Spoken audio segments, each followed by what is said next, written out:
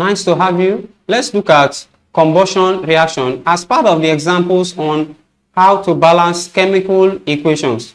Now, what is a combustion reaction? A combustion reaction is a reaction that involves burning of substances in the presence of air or oxygen. When carbon burns in oxygen, it produces either carbon 2 oxide or carbon 4 oxide.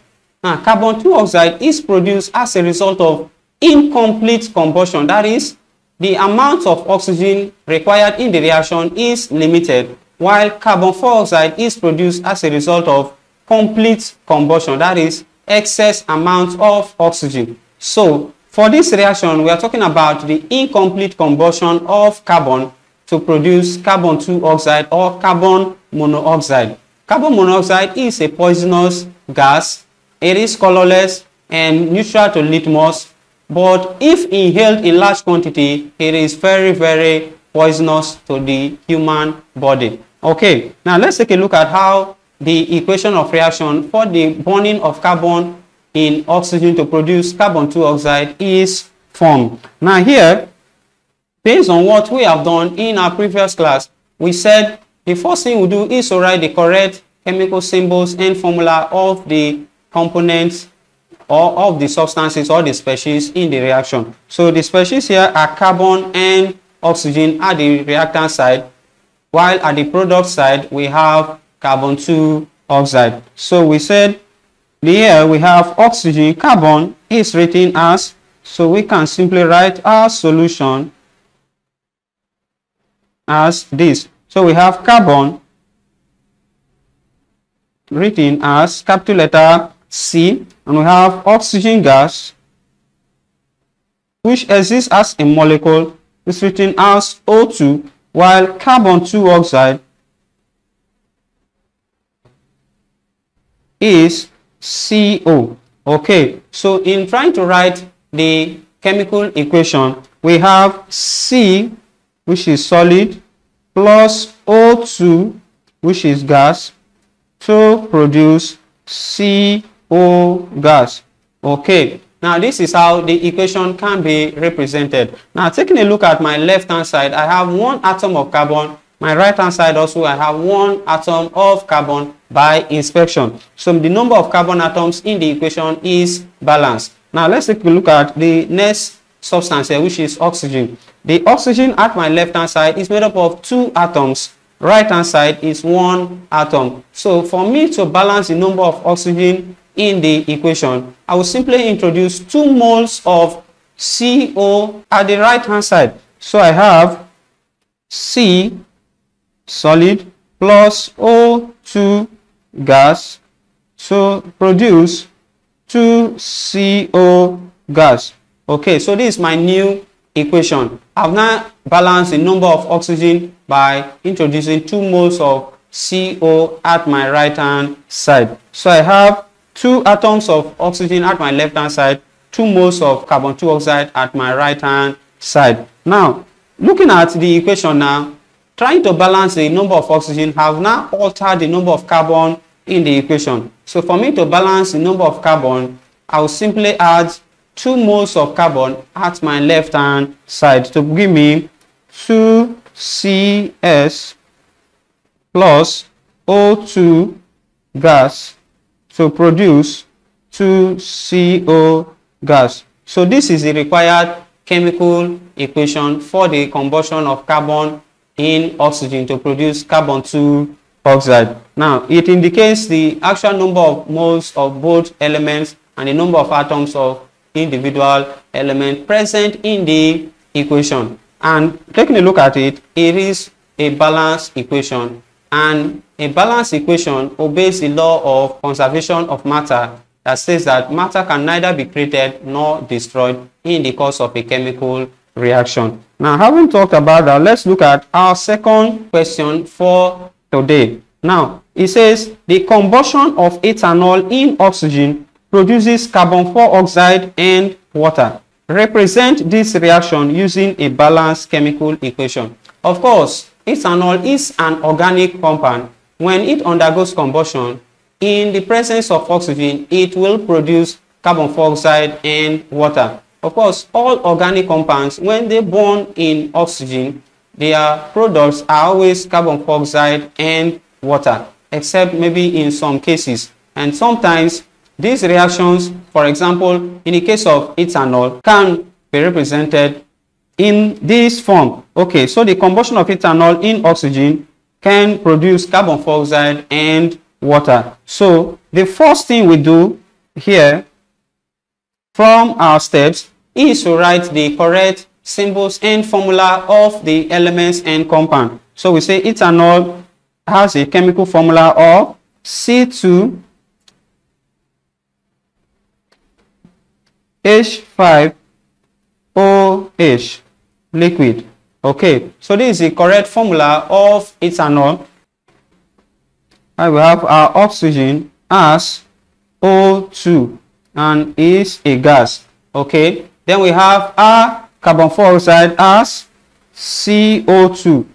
Okay, while our water is H2O. And these are the correct chemical formula of the individual substances, indicating ethanol and oxygen as our reactant, while the carbon dioxide and water as our product. Okay, so we can now have the equation of reaction as this. So we have C2H5OH liquid plus O plus O2 gas to produce CO2 gas plus water. Okay, so this is how you represent the reaction. Now, in after you have represented the reaction, the next thing that will come to your mind is to balance the number of atoms of both substances, okay, at the left hand side and the right hand side. Now, remember our rule that says we try to balance the free element first. But in this case, the free element that we have here is oxygen. So, taking a look at my left hand side, I have how many atoms of oxygen? I have three atoms of oxygen. My right hand side, I have two atoms of oxygen. Three atoms of oxygen, my left hand side.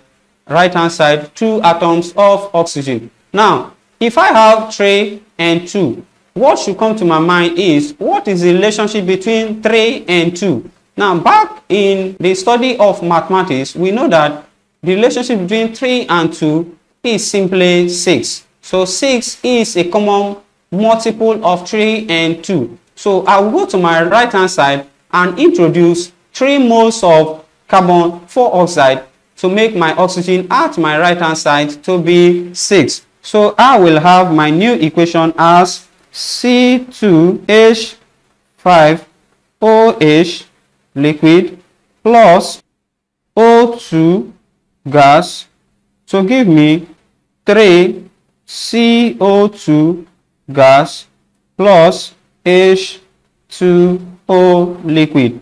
Now by doing this, I've now had 3 moles of carbon dioxide at my right hand side, indicating the number of oxygen at my right hand side to be 6, while at my left hand side it is 3. Now, for me to balance the number of oxygen in this reaction, I will look at it in this way, that the number of carbon at my left-hand side is 2. So since the number of carbon at my left-hand side is 2, while at my right-hand side is 3, it simply means that this equation cannot be balanced with this method. So what I will simply do is to write another equation of reaction as this. So I will now have C2 H5 OH plus O2 gas to give me 2 CO2 gas plus H2O liquid. Okay, now taking a look at this, I have two atoms of carbon at my left hand side and two atoms of carbon at my right hand side while the oxygen at my right hand side is now 4 atoms plus 1 who gives me 5 atoms while my left hand side I have 3 atoms. Okay. Now taking a look at this equation the number of carbon atoms is already balanced. I have 2 at my left hand side and also 2 at my right hand side. While the number of hydrogen at my left hand side is 6 at my right hand side is 2 so for me to balance the number of hydrogen I will simply introduce 3 moles of hydrogen to my right hand side. So my new equation will have something in this form. So I have C2H5 OH liquid plus O2 gas. To give me 2CO2 gas plus 3H2O liquid.